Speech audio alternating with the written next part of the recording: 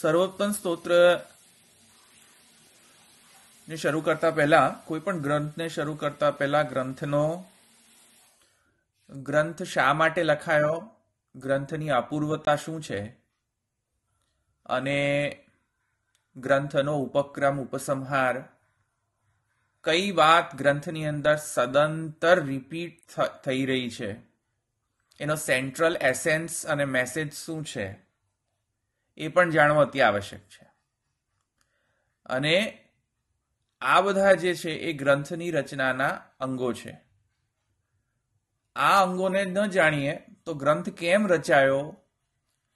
ગ્રંથ કોના માટે રચાયો? કોણ અધિકારી છે? ગ્રંથમાં કઈ વાત કહેવામાં આવી છે? અને ગ્રંથ ને કઈ વાતમાં વારંવાર તેને રિપીટ કરવામાં આવી છે. તો ઉપક્રમ એટલે કે સ્ટાર્ટિંગ ગ્રંથની શરૂઆત, ઉપસંહાર એટલે ગ્રંથનો કન્ક્લુઝન ગ્રંથનો અભ્યાસ એટલે કે કઈ વાત વારંવાર ગ્રંથમાં રિપીટ કરવામાં આવતી હોય તે. કયો સિદ્ધાંત? અને ગ્રંથની અપૂર્વતા. એટલે કે આ ગ્રંથમાં એવું તે શું છે કે જે પહેલાના, પહેલા જે બધા ગ્રંથો થઈ ગયા, એમાં નથી કહેવામાં આવ્યું. અને કેવલ અને કેવલ આ જ ગ્રંથમાં કહેવામાં આવ્યું છે. જેને આપણે કહીએ યુનિક વેલ્યુ પ્રપોઝિશન ઇંગ્લિશમાં તો વેલ્યુ પ્રપોઝિશન શું છે, ગ્રંથનું? યુનિકનેસ શું છે? ખ્યાલ આવ્યો? એટલે આ જે છે, આની ઉપર આપણે પહેલા તો એક દૃષ્ટિપાત કરી લેવી જોઈએ. અને આ ગ્રંથ જે છે, ના સાથે સાથે જે બીજા અન્ય ગ્રંથો છે મહાપ્રભુજીના મહાપ્રભુજીના નામ, મહાપ્રભુજીના રૂપ, મહાપ્રભુજીના ગુણ અને મહાપ્રભુજીનો જે તત્વ, જે સ્વરૂપ જે છે. તો આવા ચાર પ્રકારના મહાપ્રભુજીના જે પાસાઓ છે તેના અનુરૂપ વિવિધ વિવિધ પ્રકારના ગ્રંથ છે. તો પહેલા તો આપણે આ ચારે ચાર જે છે ડાયમેન્શન જે છે, એ ચારે ચાર ફોર ડાયમેન્શનલ વ્યૂ આપણે પહેલા સમજી લઈએ. કોઈ પણ અને આ ચાર, ચારે ચાર ડાયમેન્શન જે છે, એને સમજ્યા પછી ઉપક્રમ, ઉપસંહાર, અપૂર્વતા, અભ્યાસ અભ્યાસ એટલે કે જે વસ્તુ વારંવાર રિપીટ થતી હોય ગ્રંથમાં. એ. બરાબર છે. તો એનાથી આપણને ખ્યાલ આવશે કે બધા જ જે ડાયમેન્શન્સ છે, બધા જે પાસાઓ છે પર્સ્પેક્ટિવ છે, એ બધા પર્સપેક્ટિવની એક વાક્યતા રૂપ સિદ્ધાંત શું? એક વાક્યતા એટલે કે બધાની સાથે એક સિંક્રોનાઇઝડ વ્યૂ પોઈન્ટ શું છે? જેથી કરીને એક ગ્રંથ બીજા ગ્રંથને થી વિરુદ્ધ ન જઈ જતું હોય. અને અને અને પરસ્પર વિરોધ ન પ્રાપ્ત, વિરોધ પ્રાપ્તિ ન થતી હોય. એવું, એવો જે સિદ્ધાંત છે તે કયો? એટલે કે મહાપ્રભુજીનું સ્વરૂપ શું? આ પ્રશ્નનો ઉત્તર આપવા માટે આ ચારે ચાર જે ડાયમેન્શન્સ છે મહાપ્રભુજીના, તત્વ ડાયમેન્શન રૂપ ડાયમેન્શન નામ ડાયમેન્શન ગુણ ડાયમેન્શન ફોર ડાયમેન્શન જેમ ટાઈમ સ્પેસ આ બધા ડાયમેન્શન્સ છે ફિઝિકલ ઓબ્જેક્ટ્સના ભૌતિક જે વિષયો છે, ભૌતિક જે વસ્તુઓ છે તેમાં પણ ડાયમેન્શન્સ હોતા હોય છે. Three D three dimensional four dimensional analysis થતું હોય છે. તેવી રીતે આચાર્ય ચરણોના ફોર ડાયમેન્શન્સ જે છે, એ ફોર ડાયમેન્શનલ વ્યૂ પોઈન્ટ જે છે, એનો એક વાક્યતા રૂપ સિદ્ધાંત, એટલે કે મહાપ્રભુજીનું સ્વરૂપ શું છે એ સિદ્ધાંત ઉપર આપણે જો આવી શકીએ અન્ડરસ્ટેન્ડિંગ આપણે જો કેળવી શકીએ, સમજ એવી કેળવી શકીએ, એ અહીંયા અભિગમ આપણો રહેવો જોઈએ. તો એને સમજવા માટે આ બધી ટીકાઓનો આપણે ઉપયોગ કરવો જોઈએ, મદદ લેવી જોઈએ ટીકાઓની. બરાબર છે? તો કોઈ પણ વ્યક્તિ કે વસ્તુ સ્પેસિફિકલી અહીંયા આપણે વ્યક્તિ વિશેષની જો વાત કરીએ, તો કોઈ પણ વ્યક્તિને સમજવા માટે આચાર્ય ચરણો માત્રની પણ કોઈ પણ વ્યક્તિ ઇવન પરબ્રહ્મને પણ સમજવા માટે ચાર ડાયમેન્શન્સ તો આપણે મિનિમમ રિક્વાયરમેન્ટ છે. જો કે પરબ્રહ્મ જે છે મલ્ટી ડાયમેન્શનલ અનંતાનંત ડાયમેન્શન્સ છે પરબ્રહ્મના. ઇન્ફાઇનાઇટ ડાયમેન્શન્સ છે.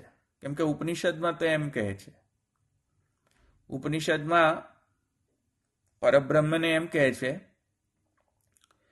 કે સત્યમ જ્ઞાનમ અનંતમ બ્રહ્મ યો વેદ નિહિતમ ગુહાયામ પરમે વ્યોમન અનંત છે. અનંત ડાયમેન્શન્સ છે ઉપનિષદ ઉપનિષદમાં બ્રહ્મને વિશે તો. પણ છતાંય અનંત ડાયમેન્શન્સને આપણે આપણી આપણી અનંત બુદ્ધિ તો છે નહીં. એટલી બધી. અનંત અનંત તો આપણી પણ જીવની તો બુદ્ધિ નથી. તેથી કરીને જે આપણે શરૂ કરી શકીએ છીએ જે વસ્તુને જાણવાની, પરબ્રહ્મરૂપ જે તત્વને જાણવાની જે શરૂઆત જે છે, એ આપણે એક સ્થૂલતયા આપણે ચાર ડાયમેન્શન તો શરૂ કરી જ શકીએ છીએ. પછી એના અનંત અનંત જે પાસાઓ જે છે એ તો ખેર, ભગવત કૃપા રહેશે તો ધીરે ધીરે આપણા સૌમાં એ આવતી રહેશે. પણ એની હા આપણે જે સ્ટાર્ટિંગ પોઈન્ટ જે છે આપણું એ ચાર ડાયમેન્શનસ ચાર ચાર ડાયમેન્શન્સનું રહેશે.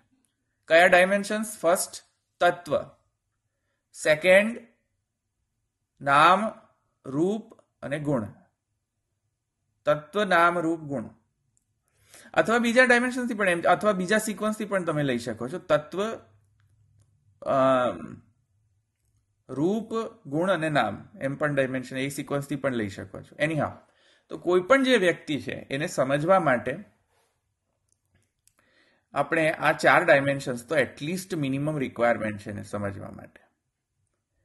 વ્યક્તિ ફર્સ્ટ જે ડાયમેન્શન જે છે,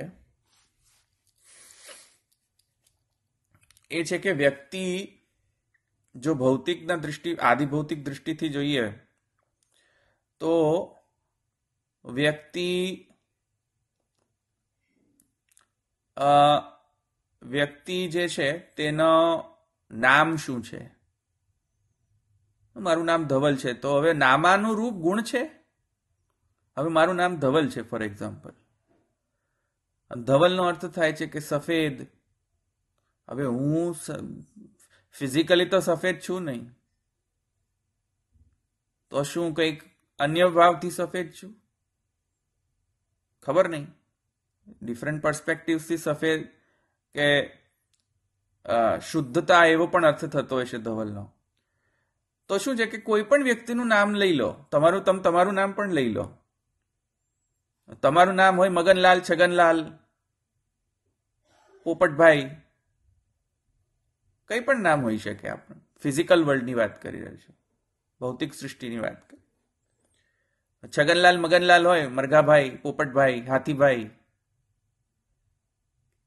ઘણા લોકોના પાછા કૃષ્ણદાસ પુરુષોત્તમ દાસ પુરુષોત્તમ આવા બધા ઘણા બધા નામ હોય છે, બરાબર? તો નામ પુરુષોત્તમ છે, પણ કર્મ કાર્યો એમના પુરુષોત્તમ જેવા છે, ઉત્તમ પુરુષ જેવા. યસ્મા અક્ષરમતી તો અક્ષરાદપી ચોત્તમ. અતોસ્મી લોકે વેદે છે પ્રથિત પુરુષોત્તમ. એવો છે કર્મ? તો કામ જ એવા ન હોય, નામ નામાનું રૂપ કર્મ ન હોય વળી પાછા લફડો થઈ ગયો. ખ્યાલ આવ્યો? તો પુરુષોત્તમ ભાઈનું ના, નામ હોય પુરુષોત્તમ ભાઈ, પણ કર્મ કરતા હોય કંઈક તો ગિલિન્ડરીના કદાચ. તો નામાનું રૂપ કર્મ હોવું જોઈએ. તો કંઈક સ્વરૂપને સમજમાં તો સ્વરૂપમાં કંઈ કન્સિસ્ટન્સી હોય હોય? બરાબર? નહીં તો સ્વરૂપમાં કન્સિસ્ટન્સી નહીં હોય.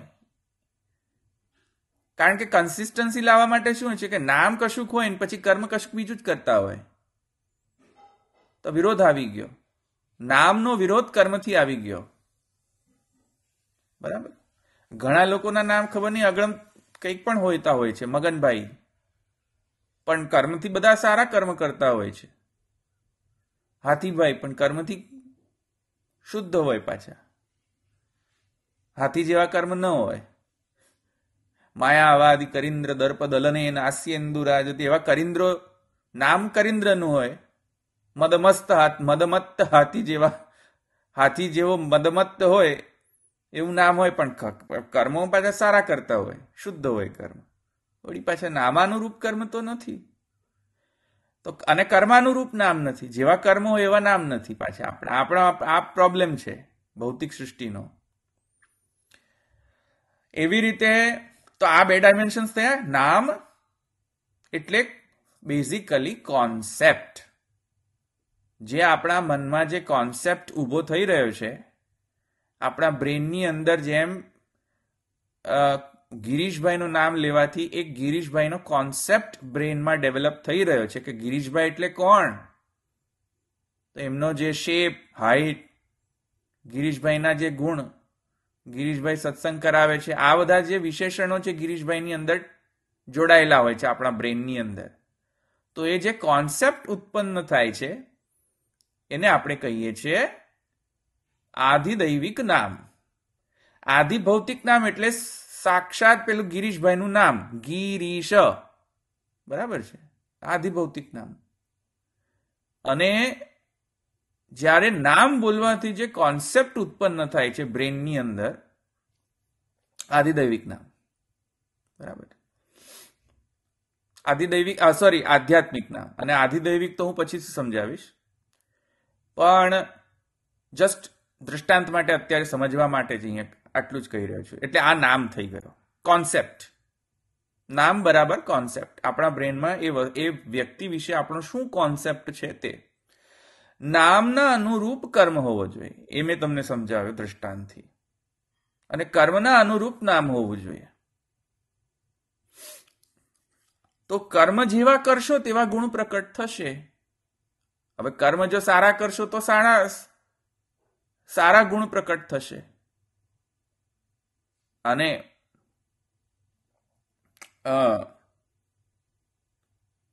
કર્મ જો ખરાબ કરશો, તો પછી ગુણ પણ એવા જ તમને એટેચ થશે. તમને એવા જ નામ હતી પછી એવા જ એવા દૃષ્ટિથી જોવામાં આવશે. તો, નામાનુરૂપ કર્મ, કર્માનુરૂપ નામ અને કર્મ જે છે, એના કારણે ગુણ પ્રકટ થાય છે. ગુણ અવગુણ જે પણ પ્રકટ થતા હોય વ્યક્તિની અંદર તે પ્રમાણે. અને રૂપ, તો રૂપની અંદર પણ એવું છે. નામ, રૂપ, ગુણ. તો રૂપ પણ એવો જ દૃષ્ટિથી આપણે કહી શકીએ છીએ. કે રૂપ એટલે શું? એટલે કે શેપ. રૂપ એટલે ભૌતિક શેપ કે એટલે કે આકાર. તો આકાર માત્ર જ રૂપ ગણવું કે રૂપની અંદર બીજું કશું પણ આવી શકે છે? તો આધિભૌતિક આકાર જ સમજો. એ વ્યક્તિ લાંબો છે, ટૂંકો છે, જાડો છે, નટો છે, શું છે? ટકલા છે, વાળવાળા છે, આ શું બધા આધિભૌતિક રૂપના પાસાઓ છે? તેવી રીતે આધ્યાત્મિક રૂપના પણ ઘણા બધા પાસા હોઈ શકે છે કે વ્યક્તિ સારો છે, ખરાબ છે. અને આધિદૈવિક પણ રૂપના પાસા હોઈ શકે છે. આવી સમજ. તો નામ, કર્મ અથવા ગુણ અને રૂપ. તો નામાનું રૂપ આ- અને ચોથું ફોર્થ ડાયમેન્શન ફોર્થ પર્સ્પેક્ટિવ છે તત્વ. ખરેખર આ વ્યક્તિ જે છે અથવા વસ્તુ છે, એ ખરેખર રો મટીરિયલી શું છે? બરાબર? તો આ ચારે ચાર વસ્તુઓ, આ ચારે ચાર ડાયમેન્શન્સને જો ન સમજીએ કોઈ પણ વ્યક્તિ અથવા વસ્તુ વિષયક, વિષયમાં. તો એના બાબતમાં પ્રોપર અન્ડરસ્ટેન્ડિંગ કેળવી નથી શકાતું. તો નામ, રૂપ, ગણ અને તત્વ આ ચારે ચાર ડાયમેન્શન્સથી મહાપ્રભુજીનો પણ સ્વરૂપ શું છે? એનો નિર્ણય કરવા માટે સર્વોત્તમ સ્તોત્ર આપણે કરવો જોઈએ. બરાબર? હવે એની ફલશ્રુતિ કેમ કરવું કોને કરવું, એ બધું તો સર્વોત્તમ સ્તોત્રમાં છે, પણ જે આપણે વિહંગાવલોકન અત્યારે જે કરી રહ્યા છે, એમાં સર્વોત્તમ સ્તોત્ર જે છે, એ નામ ને વિસ્તારિત કરી રહ્યો છે, નામ ડાયમેન્શનને. અને એ નામની અંદર કોઈક ને કોઈક રૂપ, કોઈક ને કોઈક ગુણ છુપેલો છે. હવે જો ચારે ચાર ડાયમેન્શન્સને આપણે ભિન્ન તરીકે જોઈશું કે ના, રૂપ એટલે રૂપ જ, નામ ન હોઈ શકે. અને નામ એટલે નામ જ, રૂપ ન હોઈ શકે. કર્મ એટલે કર્મ જ, પછી રૂપ ન હોઈ શકે કર્મની અંદર. કર્મ એટલે કર્મ જ, નામ ન હોઈ શકે કર્મની અંદર. કર્મ એટલે તત્વ જ સોરી કર્મ એટલે કર્મ જ, પછી કર્મને તત્વ ન થઈ શકે. હવે આ જે વોટર ટાઇટ કમ્પાર્ટમેન્ટ આપણે જે આપણા બ્રેનની અંદર ડેવલપ કરીએ છીએ, કેળવીએ છીએ, એ વોટરટાઇટ કમ્પાર્ટમેન્ટ નહીં કરવું જોઈએ. તેથી કરીને એવી જ રીતે મહાપ્રભુજીના સ્વરૂપને સમજવું હોય, તો સર્વોત્તમ સ્તોત્રમાં જે જે મહાપ્રભુજીના નામ વિશેષતયા ત્યાં વર્ણન કરવામાં આવેલા છે, સંક્ષિપ્તતયા, એ નામમાં કોઈક ને કોઈક મહાપ્રભુજીની લીલા એટલે કર્મ, કોઈક ને કોઈક મહાપ્રભુજીનો રૂપ, કોઈક ને કોઈક મહાપ્રભુજીનો ગુણ કેમ કે વ્યક્તિની અંદર ઐશ્વર્ય ગુણ પણ હોઈ શકે, વ્યક્તિની અંદર વીર્ય ગુણ પણ હોઈ શકે. અસાધારણ કર્તૃત્વ, એને વીર્ય કહેવાય અહીંયા. ઐશ્વર્ય એટલે કે કર્તુમ અકર્તુમ અકર અન્યથા કર્તુમ સામર્થ્યવાન જે હોય, તેનું, તેને આપણે ઐશ્વર્ય કહેવાય. ઐશ્વર્ય વીર્ય. ગુણની અંતર્ગત આ બધા ષડભાવ સોરી ષડગુણ આવી શકે, આવી, આવે છે, ગુણની અંદર. ઐશ્વર્ય, વીર્ય, યશસ્વી, જ્ઞાન, વૈરાગ્ય ઇત્યાદિ. તો હવે એમ કહો તમે કે નહીં નહીં, હવે તો હું અત્યારે ગુણની જ વાત કરી રહ્યો છું. તેથી કરીને નામની વાત નહીં કરો અત્યારે. તો એ વોટર ટાઈટ કમ્પાર્ટમેન્ટ તો ન હોવું જોઈએ ને. એટલે સર્વોત્તમ સ્તોત્રના કોઈ પણ નામ લઈ લો તો એની અંદર જ્યારે આપણે એ નામને સમજતા હોઈએ, ત્યારે મહાપ્રભુજીના એ નામના બેકગ્રાઉન્ડની અંદર કયો રૂપ કામ કરી રહ્યો છે. કયો બેકગ્રાઉન્ડની અંદર મહાપ્રભુજીનો કયો કર્મ કે ગુણ કે લીલા કામ કરી રહી છે? ચોર્યાસી બસો બાવન વૈષ્ણવની અંદર પણ તમે મહાપ્રભુજીના જે, મહાપ્રભુજીની જે ચરિત્ર છે, લીલા છે, કર્મ છે, ઇત્યાદિ જે છે, તેની સાથે સંગત કરો. નામ લો અને પાછળ સંગતિ કરો. વાર્તા સાહિત્ય સાથે કરો, નિજ ગરુ વાર્તા સાથે સંગત કરો. કરો, ષોડશ ગ્રંથોમાં મહાપ્રભુજી આજ્ઞા કરી છે, એના સાથે આ નામ સાથે સંગત કરો. સુબોધની સાથે સંગત કરો. તો વોટર ટાઈમ કમ્પાર્ટમેન્ટ કઈ રીતે હોઈ શકે? આવ્યું સમજ? એટલે કોઈ પણ નામ લો પાછળ એનાલિસિસ કેવી રીતે કરો? આવી રીતે એનાલિસિસ એવી રીતે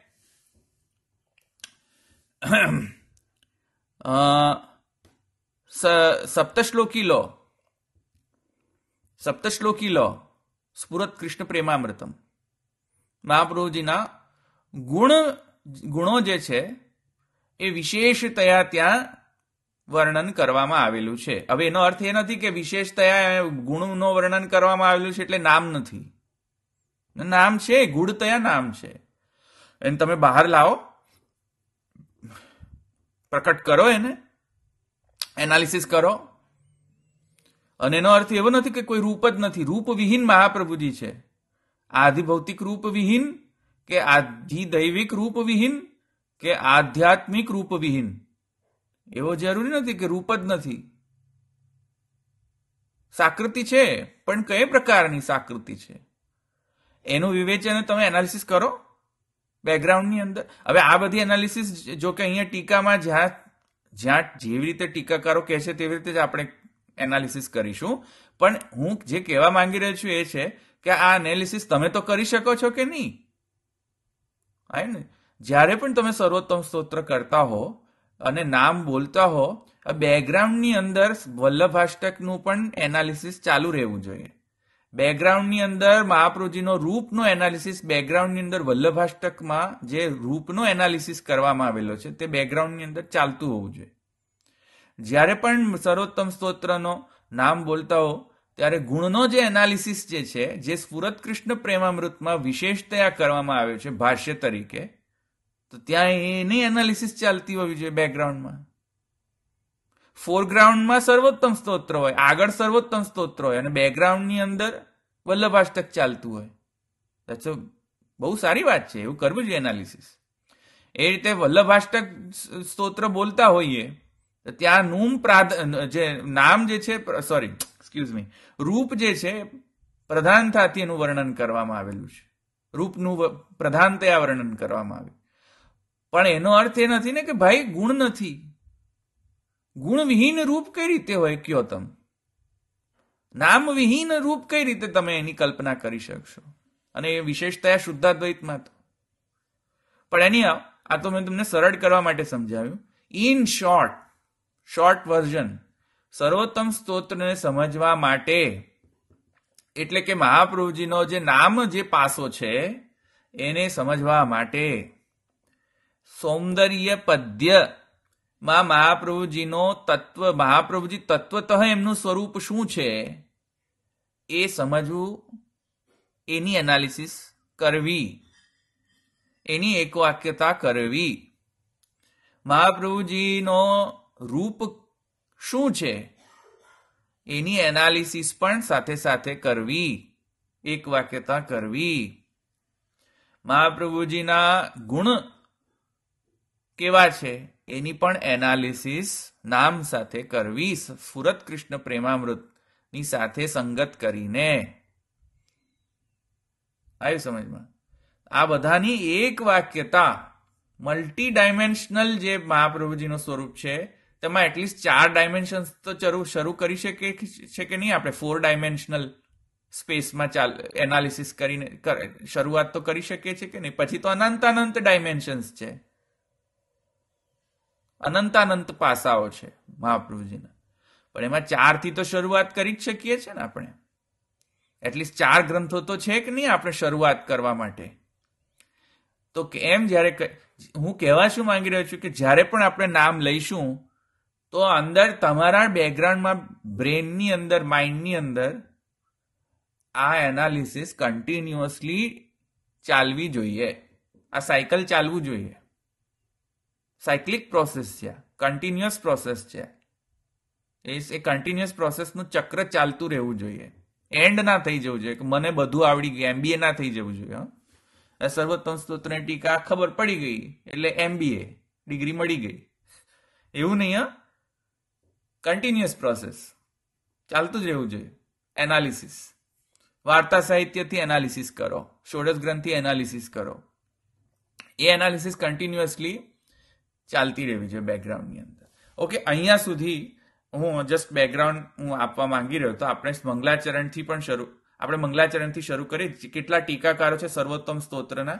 એ અને પછી આપણે મંગલાચરણ અને ફર્સ્ટ જે ઉત્થા ઉત્થાનિકા છે ઇન્ટ્રોડક્શન છે, એ પણ આપણે કમ્પ્લીટ કરવું છે આજે.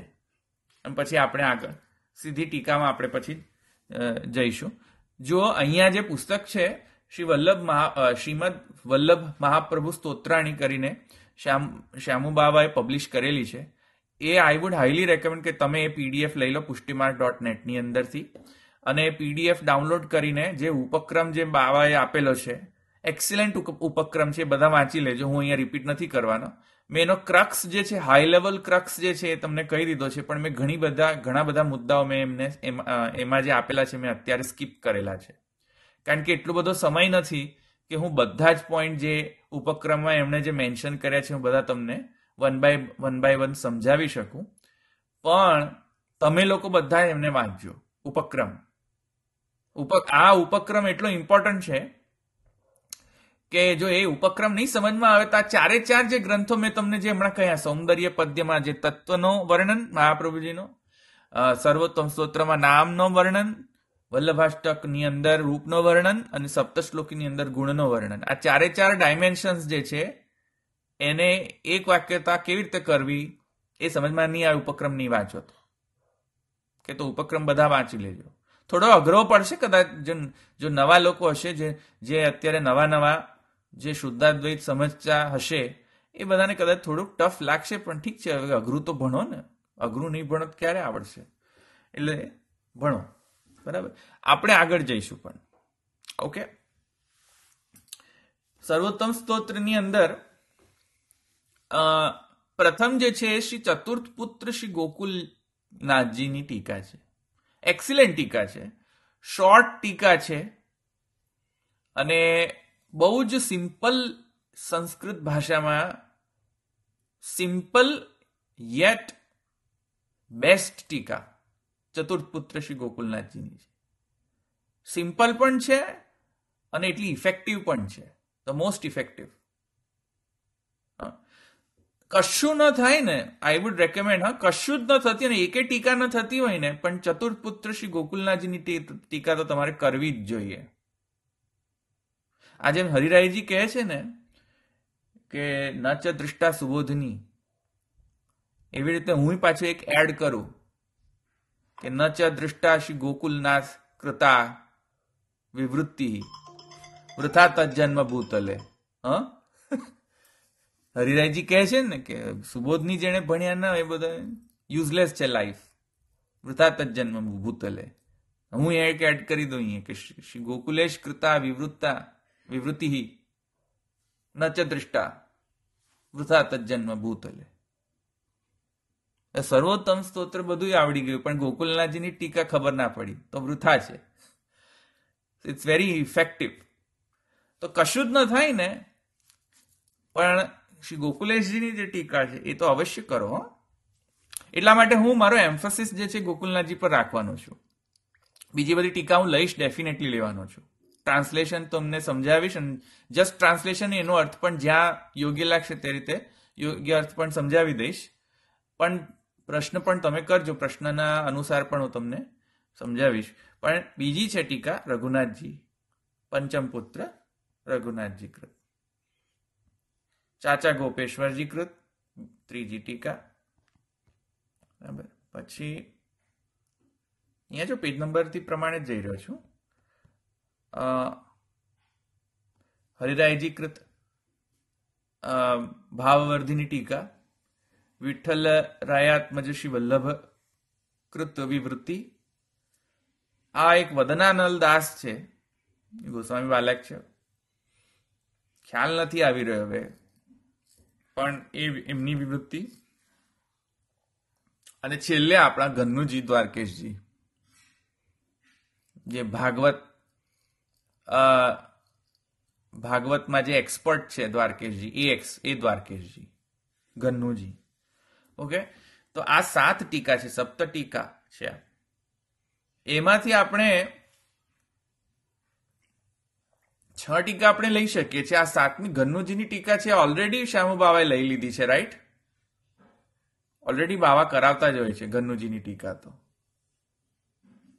ઇઝ ધેટ કરેક્ટ જે લોકો સાંભળતા હોય. હા ધવલભાઈ આ કરાવે છે દર વખતે છેલ્લા દિવસે હોય છે એમને હા. એટલે પછી હું નથી લેવાનો, કારણ કે ઓલરેડી છે, તો પછી શા માટે હું લઉં? ઓકે તો પછી સાતમી જે ટીકા છે ઘનનુજીની એ આપણે નહીં લઈએ. ઓકે જો કે પ્રશ્ન હોય તો કરજો તમે તમને જો કોઈ એની પર પ્રશ્ન હોય તો તમે ડેફિનેટલી કરજો. જરા વાંચીને આવજો એટલીસ્ટ ઓકે પણ આ છ ટીકા તો આપણે લઈ લઈશું ઓકે અને ફોકસ રહેશે ટીકા ઉપર જ ખાલી. આપણે આગળ પાછળ નહીં જઈએ. ઓકે? ઓલરાઈટ તો આ આપણે આપણો પ્લેગ્રાઉન્ડ રહેશે આપણો. પ્લેગ્રાઉન્ડ આટલો છે આપણો. ઓકે? છ ટીકા. સર્વોત્તમ સ્ત્રોત. અને તમે ઉપક્રમ વાંચીને આવજો નેક્સ્ટ ટાઈમ આ પુસ્તકનું જે ઉપક્રમ છે તે. આ ઉપક્રમ નહીં વાંચો તો બધું ઉપરથી જ જવાનું છે. કે બાઉન્સ બાઉન્સ જશે. ઉપક્રમ નહીં વાંચો તો. અચ્છા ઉપક્રમ ઉત્થાનિકા શરૂ કરતા પહેલા હજુ પણ એક એક વાત હજુ પણ કહેવાની છે કોન્સેપ્ટ એ કોન્સેપ્ટ પણ હું તમને કહી દઉં.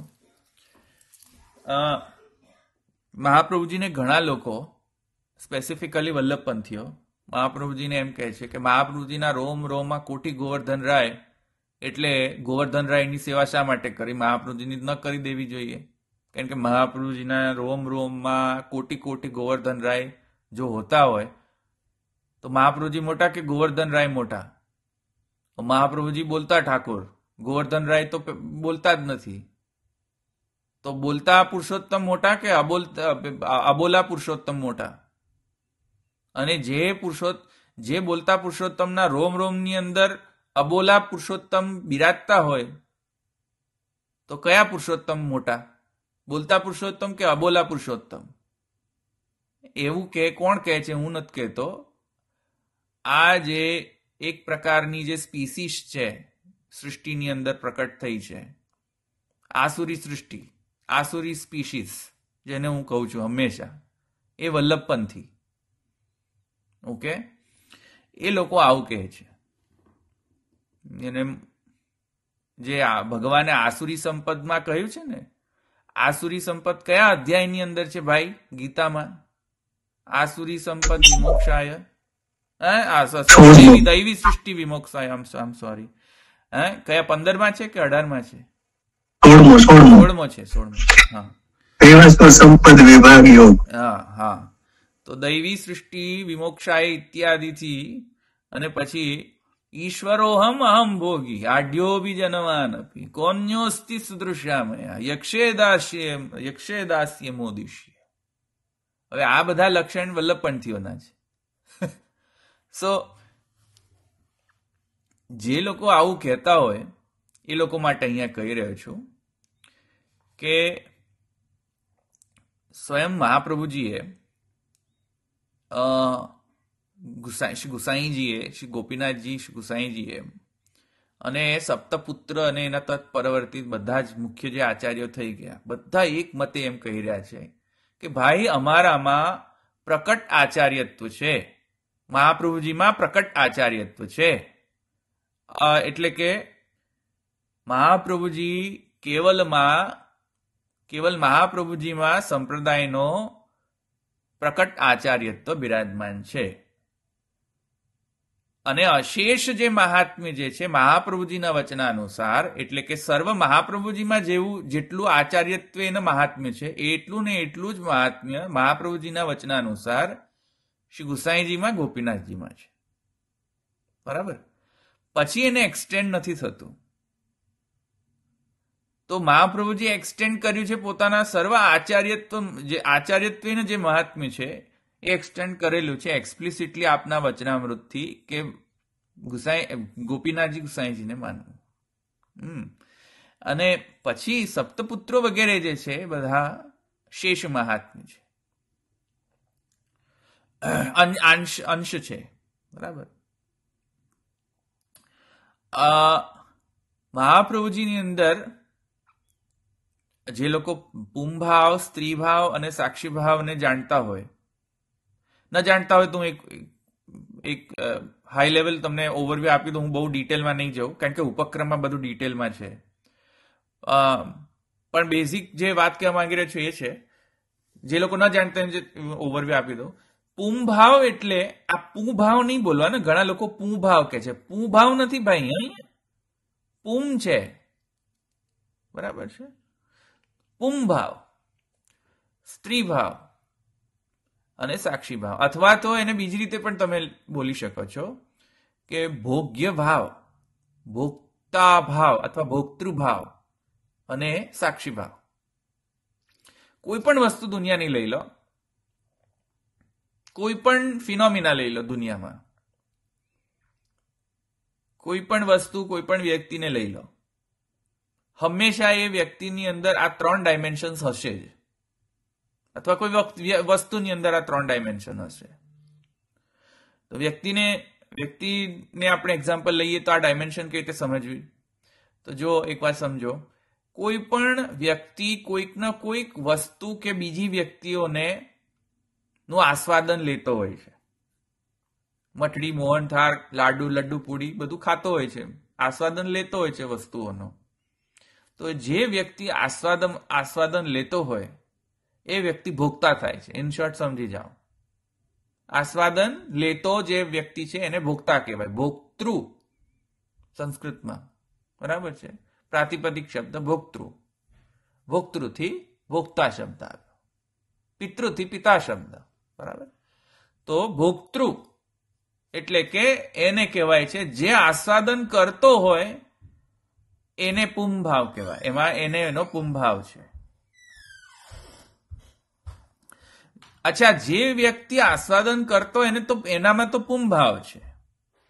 અથવા ભોક્તા ભાવ છે, અથવા ભોક્તૃભાવ છે. પણ જે વ્યક્તિ જે વસ્તુનું આસ્વાદન લઈ રહ્યો છે, એ વસ્તુમાં એ વસ્તુ જો એ વ્યક્તિને આસ્વાદન લેવા જ ન દે. મઠડી આવીને બોલે કે, ભાઈ ભાઈ, હું અંદર નહીં જવું, તારા પેટમાં. તો ભોગતા જે છે, ભોગ, એને, એનો ભોગ કરી શકે, ન કરી શકે. એટલે મઠડી જે છે, કે મોહનથા છે, એ સરેન્ડર થઈ રહી છે તમને. એ ભોગ્ય બની રહી છે, તેથી કરીને તમે ભોગ, ભોગી રહ્યા છે વસ્તુને. એટલે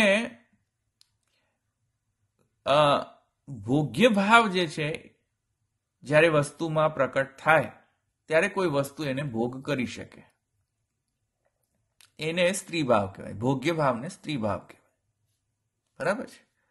અને સાક્ષી ભાવ એટલે કે, ન તો ભોગ્ય હોય, ન તો ભોગતા હોય. કસાયમાં એની પાર્ટિસિપેટ ન કરતો હોય. પણ ઇન્સ્પાયર કરે બંનેને. ઇન્સ્પિરેશન આપતો હોય બંનેને. પ્રવર્તન કરતો હોય. તો એને સાક્ષી ભાવ કહેવાય. ન તો ભોગતા હોય, ન તો ભોગ્ય હોય પણ સમજાવતો બંને હોય કે આ જો આ ભોગતા અને આ ભોગ્ય. પ્રેજ્યુડાઇઝ વ્યૂ ન હોય એનો. સાક્ષીવત હોય. આવ્યું સમજમાં? અને ઇન્સ્પાયર કરતો હોય. પ્રવર્તન કરતો હોય. કામ કરવા માટે પ્રવર્ત એને ઇન્સ્પાયર કરતો હોય. અને એમાં એ પાછું પોતે ન કામ કરે. બીજાની જોડે કરાવડાવે. આવ્યું સમજ સાક્ષી ભાવ છે. તો,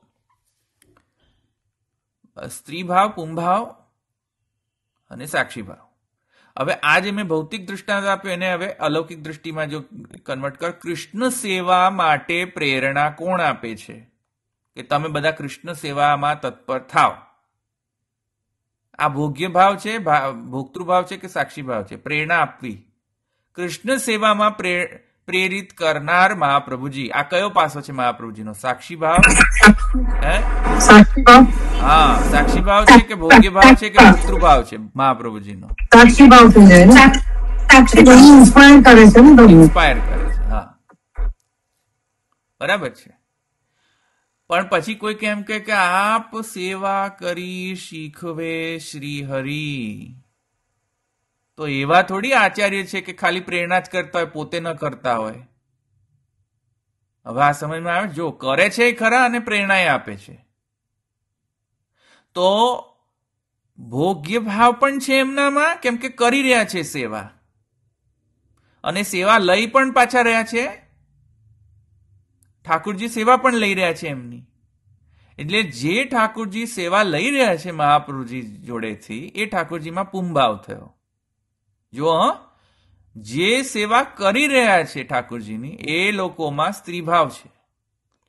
અને જે લોકો આ બંને વસ્તુ જે લોકો સેવકમાં પ્રેરણા આપી રહ્યા છે કે તમારે ઠાકોરજીની સેવા કરવી જોઈએ, સ્ત્રીભાવ થઈ ગયો સાક્ષીભાવ થઈ ગયો સોરી ખ્યાલ આવ્યો? હવે મહાપ્રભુજીની અંદર તમે એમ કહો કે ઓ મહાપ્રભુજી તો પ્રેરણા આપે છે કૃષ્ણ સેવા કરવા માટેની. તેથી મહાપ્રભુજીમાં સાક્ષી ભાવ થયો. પણ મહાપ્રભુજીમાં તેથી કરીને પુંભાવ સ્ત્રીભાવ નથી તો ત્યાં પાછી આપત્તિ આવી જશે કે ભાઈ નહીં આપ સેવા કરી શીખવે શ્રી હરિ થોડું એકો આવે છે. હવે થોડું કોમ્પ્લિકેટ કરો સિચ્યુએશનને. આપણે કઈ વાર્તા છે કે જેમાં મહાપ્રભુજી રણછોડજીના દર્શન આપ્યા? રણછોડજીના રૂપે. કઈ વાર્તા છે? હા. હા. હવે હવે જુઓ હવે હવે વલ્લભ- વલ્લભપંથી. મ્યુટ કરો મ્યુટ કરો. હા. હવે કોઈ કેમ કે ધવલભાઈ તો એમ કે છે કે મહાપ્રભુજીમાં ખાલી સાક્ષી ભાવ જ છે. તો પદ્મા રાવલની વાર્તામાં તો મહાપ્રભુજીએ પુરુષોત્તમ રૂપ બતાવીને પુંભાવ બતાવ્યો. એનું મારે શું કરવું? ખ્યાલ આવે છે ને? હવે આ કન્ફ્યુઝનને લઈને લોકોમાં એવું ભ્રમ ફેલાયો છે આ વલ્લભપંથીઓએ કે જો પદ્મા રાવલની વાર્તામાં તો મહાપ્રભુજીએ રણછોડજીના દર્શન કરાવ્યા, પણ રણછોડજી મહાપ્રભુજીનું સ્વરૂપ ન લે, પણ મહાપ્રભુજી રણછોડજીનું સ્વરૂપ લઈ શકે છે. એટલે મોટા કોણ થયા? કોણ થયા મોટા? મહાપ્રભુજી. હવે આ ગિલિન્ડરી આ ગિલિન્ડરી કરે છે કોણ? આ વલ્લભપંથી લોકો. જે લોકો એવું સમજાવતા પણ હોય ને એ પણ પાછા આ વલ્લભપંથી જેવું થવા માંગે પાછા. મોર ઓર લેસ પોતાને કેવડાવે નહીં વલ્લભપંથી, હં. પાછા એમ કે અમે વલ્લભપંથી નથી. પછી એક્સપ્લેનેશન તો પાછું આવું જ આપે.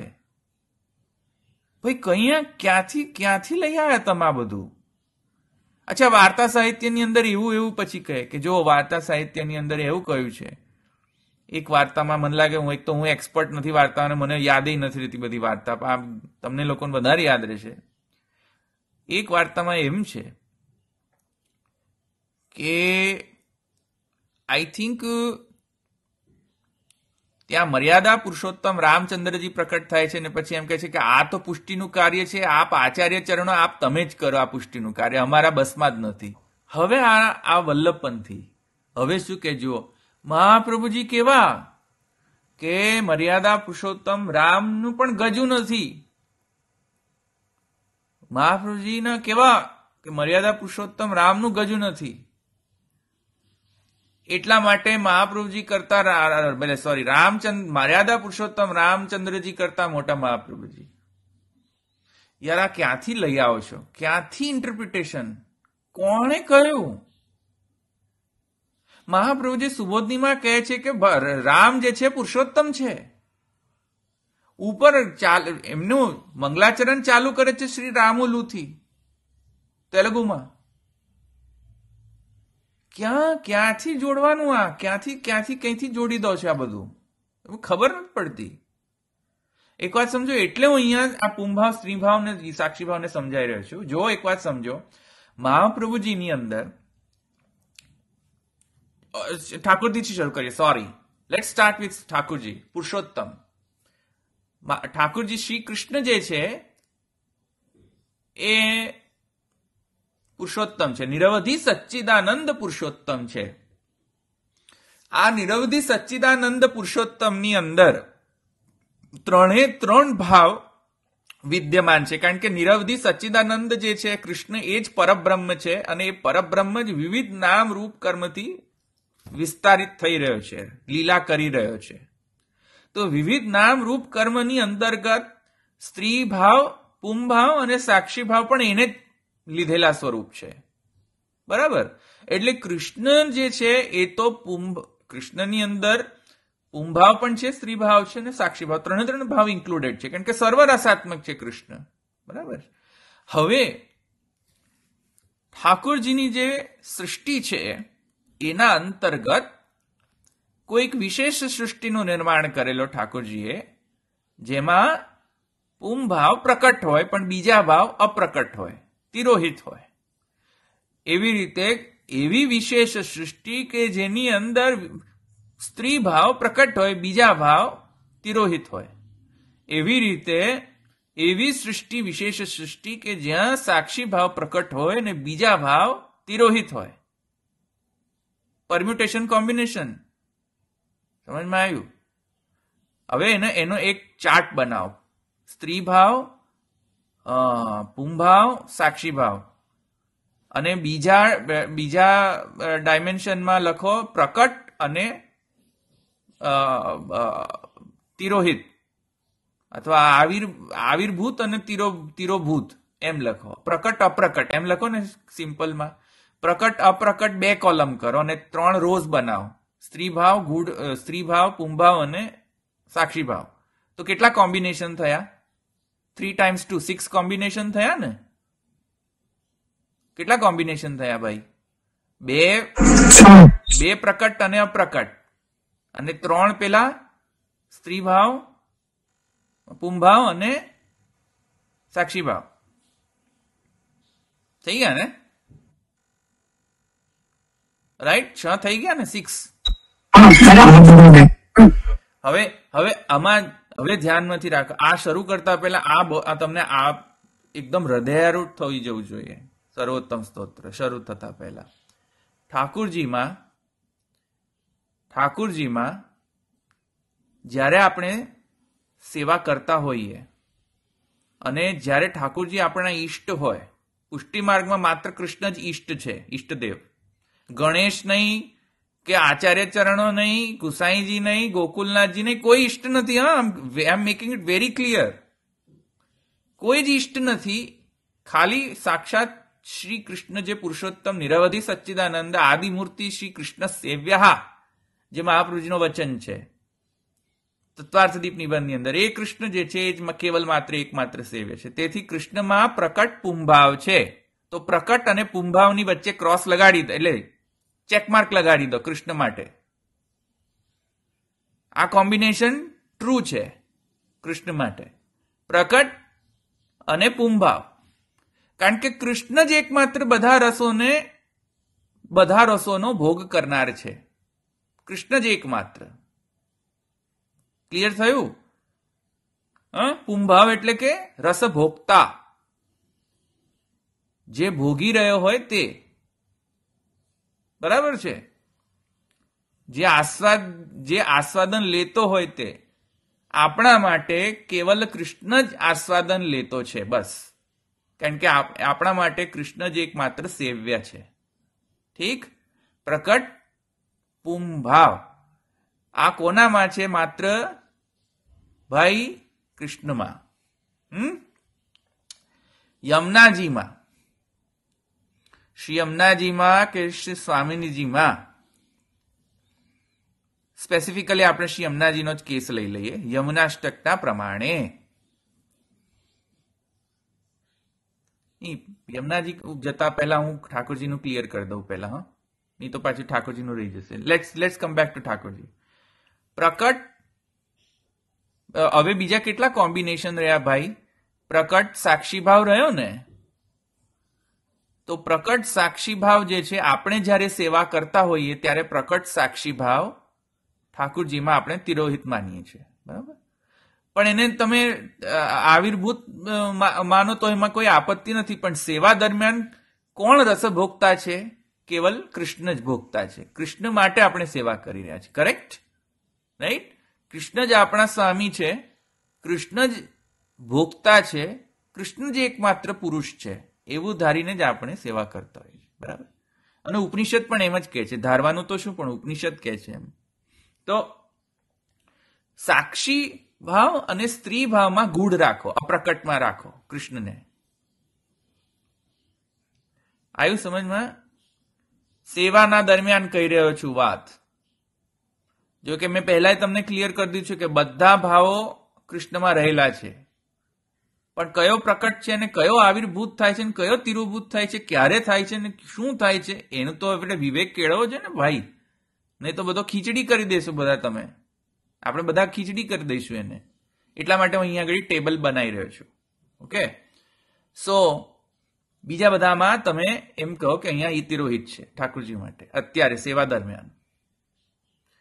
ક્યારેક જ્યારે ઠાકુરજી જ્યારે મેં એમાં રંસથ ક્ષપા અથવા ઠાકુરજી એમ કહે કે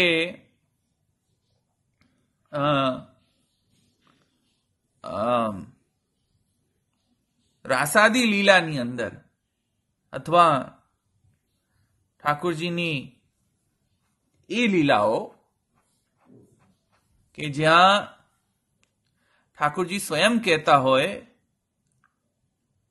કે તમારો હું પાર નહીં પામી શકું કોઈ દિવસ. તમારો એટલે ગોપિકાઓને કહી રહ્યા છે ઠાકોરજી. એને સ્પેસિફિકલી જ્યારે બરહા પીડમ નટવર વપુઃ કર્ણયો કર્ણિકારમ બિભ્રદવાસ કનક કપિશમ ઇત્યાદિ શ્લોકની અંદર બરહા પીડમ નટ વર નટ અને વર. ત્યાં સુબોધનીમાં વિશેષ ટીકા છે. નટવત વપુ અને વરવત વપુ.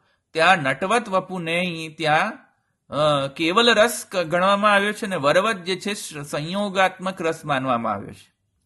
અને ત્યાં પણ એમ કહેવામાં આવ્યું છે કે ત્યાં ભોગ્ય ભાવ અને ભોક્તૃભાવ.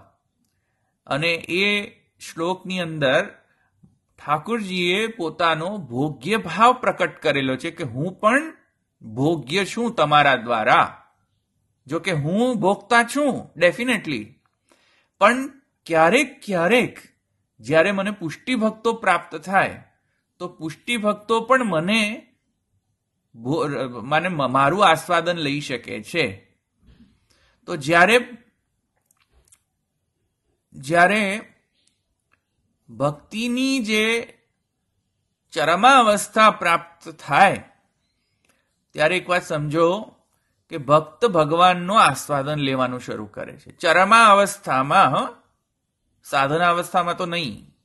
પણ જ્યારે ફલાવસ્થા હોય, ત્યારે ગજ્જન ધાવનના કેસમાં જુઓ. ગજ્જન ધાવનના કેસમાં, નવનીત પ્રિયાજી ગજ્જન ધાવનને વશ છે. બોલો. ગજ્જન ધાવન નવનીત પ્રિયાજીને વશ નથી, હો, જુઓ. ત્યાં. કારણ કે ગજ્જન ધાવનને તો ત્યાં સર્વાત્મ ભાવ સિદ્ધ છે. તેમને તો ખબર જ નથી. તો પ્રપંચ વિસ્મૃતિ પૂર્વક ભગવદાશક્તિ સિદ્ધ છે એમને ગજ્જનને તો. પણ નવનીત પ્રિયાજી જો ગજ્જન ધાવનને વશ છે તો નવનીત પ્રિયાજીમાં પ્રકટ પૂમ ભાવ છે કે પ્રકટ સ્ત્રી ભાવ છે? બોલો હવે. સ્ત્રી ભાવ. પ્રકટ સ્ત્રી ભાવ. પ્રકટ સ્ત્રી પ્રકટ સ્ત્રી ભાવ થયો ને? નવનીત પ્રિયાજી વશ છે જુઓ ગજ્જનને. એ ભોગ્ય બને છે ને હા ભોગ્ય બને છે ઠાકુરજી. પણ ક્યારે બને છે? ક્યારે બન્યા? જ્યારે ચરમાવસ્થા હોય ભક્તિની. પ્રગટ હા તો જ્યારે પણ હવે હવે પેલું પેલા ટેબલ પર જાઓ. અને ત્યાં ચેકમાર્ક કરો જે છે મ્યુટ મ્યુટ મ્યુટ મ્યુટ એક મિનિટ એક મિનિટ મ્યુટ કરો. There you go thank you કૃષ્ણના કેસમાં એમ ચેકમાર્ક કરો કે પ્રકટ ગુડ સોરી પ્રકટ સ્ત્રી ભાવ પણ ક્યારે? ક્યારે પ્રકટ સ્ત્રી ભાવ?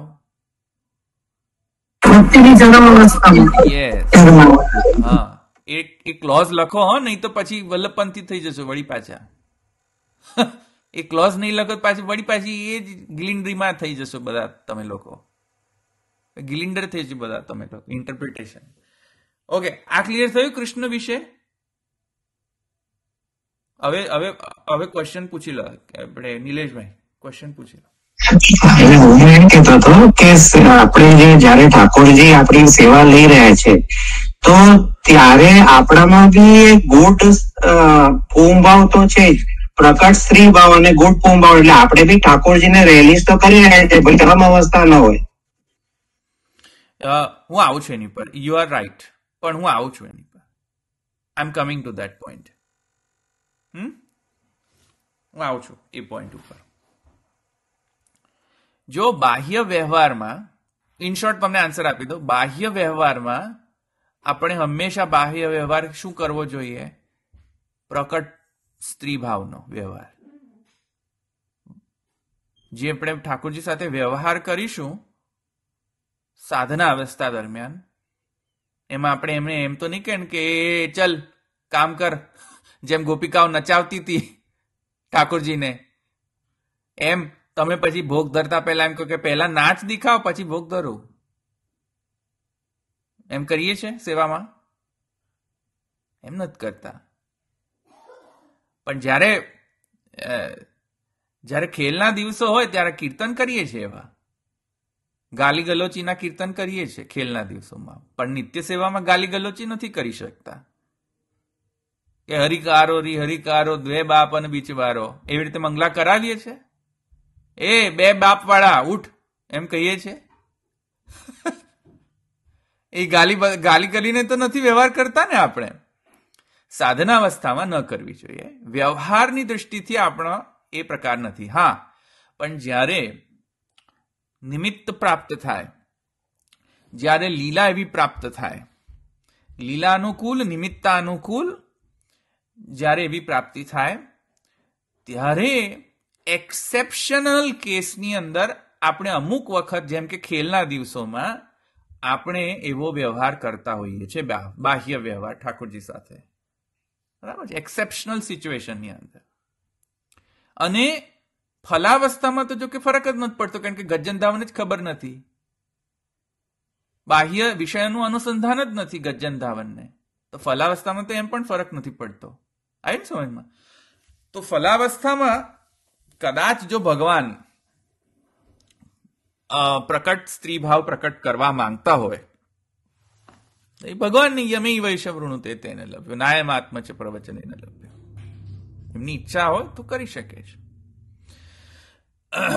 પણ અંદર આંતરિક જ્યારે આપણે ભાવાત્મક પક્ષમાં વિચારતા હોઈએ, જ્યારે પણ આપણે સાધન અવસ્થામાં હોઈએ, સેવા કરતા હોઈએ કોઈક ના કોઈક પ્રકટ પુંભાવની અંદર સ્ત્રીભાવ છુપાયેલો છે. કોઈક ના કોઈક સ્ત્રીભાવની અંદર પુંભાવ છુપાયેલો છે. કોઈક ના કોઈક સ્ત્રીભાવની અંદર સાક્ષીભાવ છુપાયેલો છે. કોઈક ના કોઈક સાક્ષીભાવની અંદર સ્ત્રીભાવને પુંભાવ છુપાયેલા છે. વોટરટેટ કમ્પાર્ટમેન્ટથી નહીં વિચારવું જોઈએ એ હું કહી રહ્યો છું. એટલે Nileshbhai to to answer your question yes you are right but you have to maintain વિવેક જ્યારે વ્યવહાર કરતા હોઈએ ઠાકોરજી સાથે ત્યારે આ વિવેક જરૂરી છે. અને એમાં મુખ્યતયા વિવેક આપણો એ રહેતો હોય છે કે ઠાકોરજી પ્રકટ ઠાકોરજીમાં જ કેવલ પ્રકટ પુંભાવ છે. આપણે બધા દાસ છીએ. નોર્મલ કેસમાં એક્સેપ્શનલ કેસ છે. નોર્મલ કેસમાં બરાબર છે? હા એટલે આપણે આપણામાં ગુણ કુંભાવ કહી શકીએ પ્રકટ નહીં. હા એક્ઝેક્ટલી કરેક્ટ ગુડ પુંભાવ આપણે ડેફિનેટલી કન્સિડર કરી શકીએ. એબ્સોલ્યુટલી થોડી ડિટેલ એનાલિસિસ કરશો ને, તો તમને ખ્યાલ આવશે કે તમે પ્રભુને ખુશ કરવા માટે જ કેવલ સેવા કરી રહ્યા છો કે તમને પણ ખુશી મળી રહી છે સેવા કરતા કરતા સાથે? કે જ્યાં વન વે ડાયરેક્શન નથી પ્રેમનો? કે હું ઠાકોરજીને પ્રેમ કરું છું? કેમ? કેમ કે ઠાકોરજીને પ્રેમ જોઈએ છે. ઠાકોરજીને પ્રેમ જોઈએ છે એટલે હું પ્રેમ પ્રોવાઈડ કરું છું. એટલો ટ્રાન્ઝેક્શન માત્ર નથી ભક્તિ. એમાં ભક્તિમાં બીજું પણ છે કે મને ગમે છે. એ પણ એડ થઈ રહ્યું છે મને ગમે છે ને હું બી એમને ગમું છું. હા એટલે મને પણ ગમે છે. એમાં શું થયો ભાવ? કે મારામાં થોડુંક તો પુંભાવ છે કે નહીં? થોડુંક તો પુંભાવ આવ્યો કે નહીં? મને ગમે છે. હા. તો થોડોક યત્કિંચિત થોડા અંશમાં પુંભાવ આવ્યો આપણામાં. આ અવાજ બહુ આ છે, એકો એકો આવે છે, મ્યુટમાં મ્યુટમાં કરી દો. હા. સો, આપણે એ બધા વિચારવાની આવશ્યકતા છે કે આપણા સૌમાં સ્ત્રીભાવ છે, એની સાથે સાથે ગૂઢતયા એક પુંભાવ પણ છુપાયેલો છે. એવી રીતે ઠાકોરજીમાં પણ પ્રકટ જો પુંભાવ હોય તો ઠાકોરજીમાં એક ગૂઢ સ્ત્રીભાવ પણ છે જે બરહા પીડમ નટવર વપુની અંદર પ્રકટ થઈ ગયો છે. એ ગુઢ સ્ત્રી ભાવ. બરાબર છે? એવી રીતે બોટમ લાઈન ઇન શોર્ટ હું આ આ ટેબલને કમ્પ્લીટ કરાવીશ. છે કોમ્બિનેશન પરમ્યુટેશન અતિ ઇમ્પોર્ટન્ટ છે ને આપણે અત્યારે ટાઈમ નથી. નેક્સ્ટ ટાઈમ હું તમને ટેબલ કમ્પ્લીટ કરાવી દઈશ. યમુનાજીમાં અને મહાપ્રભુજીમાં. પણ બોટમ લાઈન આપણે શું સમજવાનું છે? કે મહાપ્રભુજીના સ્વરૂપને જ્યારે આપણે જાણવા માટે આવ્યા છીએ ત્યારે સ્વરૂપ, મહાપ્રભુજીનો સ્વરૂપ શું? ગૂઢ પુંભાવ છે, પ્રકટ પુંભાવ છે, ગૂઢ સ્ત્રી ભાવ છે, પ્રકટ સ્ત્રી ભાવ છે, ગૂઢ સાક્ષી ભાવ છે કે પ્રકટ સાક્ષી ભાવ છે? શું છે? શું છે મહાપ્રભુજી? એ તો ડિસાઈડ કરવું પડશે કે નહીં? એટલે કે રો મટીરિયલી શું છે? જેમ બધા ઘરેણાઓ છે બધા ઘરેણાને સમજી લઈએ, પણ ભાઈ ભાઈ ઘરેણાનું કન્સ્ટ્રક્શન કેવી રીતે, કઈ મટીરિયલથી થયું છે, એ મટીરિયલ ના ખબર પડતી હોય. તો ઘરેણાને સમજી શકાય? ઘરેણ એક મિનિટ. ઘરેણાને સમજવા માટે ઘરેણો કોનાથી બનેલો છે? ખરેખર રો મટીરિયલ કયું છે ઘરેણાનું? એ ન જાણે ત્યાં સુધી ઘરેણાની પરખ થાય નહીં કે આ ઘરેણો શું છે. તેવી રીતે કોઈ પણ કોઈ પણ શાસ્ત્રીય કોન્સેપ્ટને કે ભગવદ અવતાર કે આચાર્યને જાણ જાણ, જ્યારે આપણે જાણ જાણવા માટે તત્પર થતા હોઈએ, ત્યારે એમનો જે કોર જે કોર જે તત્વ છે, એને ન જાણીએ, એટલે કે આ તત્વ જે હું તમને અત્યારે કહી રહ્યો છું, સ્ત્રી ભાવ, પુંભાવ, ગૂઢ સ્ત્રી ભાવ, ગૂઢ પ્રકટ વડેવર ગૂઢ ગૂઢ પ્રકટ વડેવર રાઈટ એમાં મહાપ્રભુજી ક્યાં ફિટ બેસે છે? હવે આ જ અન્ડરસ્ટેન્ડિંગ ન હોય તત્વતઃ મહાપ્રભુજીની અન્ડરસ્ટેન્ડિંગ તો પછી આગળ જઈને પછી બધા કચરો ને કચરો જ પછી આવશે અન્ડરસ્ટેન્ડિંગમાં કોર શું છે? કોર મહાપ્રભુજીનો કોર સ્વરૂપ શું છે? હા હા, ધવલભાઈ. હમ. આપે જે છ અંગો બતાવ્યા ને ઉપક્રમો ઉપસંહારો, અભ્યાસો, અપૂર્વતા, ફલમ. પછી અર્થવાદ અને ઉપપત્તિ એનું થોડું શોર્ટમાં ઠીક છે નેક્સ્ટ ટાઈમ આપણે લઈ લઈશું. અર્થવાદ અને ઉપપત્તિ આપણું મિસ થઈ ગયું છે. અ, અર્થવાદ એટલે કઈ વસ્તુને કરવા માટેની પ્રશંસા વારંવાર કરવામાં આવી છે? શોર્ટમાં સમજી લો અર્થવાદ એટલે. ઓકે બરાબર. કઈ વસ્તુની પ્રશંસા કરવામાં આવી છે અને કઈ વસ્તુની નિંદા કરવામાં આવી? નિંદા સ્તુતિ. ગ્રંથ આખો ભણી લો અને પછી ગ્રંથમાં એ એવા એવા પ્રસંગોનું વર્ણન હોય જ્યાં અમુક લોકો કે અમુક કેરેક્ટર્સની પ્રશંસા કરવામાં આવી હોય અને અમુક લોકો કે કેરેક્ટર્સની નિંદા કરવામાં આવી. તો એનાથી આપણે શું સાર લેવો જોઈએ. જેમ રાવણની નિંદા કરી છે ને સીતાજી વગેરેની જે છે રામ ઇત્યાદિ વગેરે કેરેક્ટર્સની ત્યાં પ્રશંસા છે. પછી છેલ્લે પછી જ્યારે આપણે ઉપસંહાર કાઢવાનો હોય આખા રામાયણમાં ત્યાર પછી હરણની સીતા ના થઈ જવી જોઈએ. ખ્યાલ આવ્યો? અર્થવાદ એના માટે છે. નિંદા સ્તુતિ અને નિંદા સ્તુતિની થી શું સમજવું? કે ભાઈ આપણે કેવા થવું? રાવણ જેવા થવું કે રામ જેવા થવું બસ. બરાબર છે. બરાબર છે. કોઈ પણ વસ્તુને શાસ્ત્રના રેફરન્સીસથી એને પ્રામાણિત કરવું અને એને જસ્ટી, લોજિકલી જસ્ટિફાય કરવું.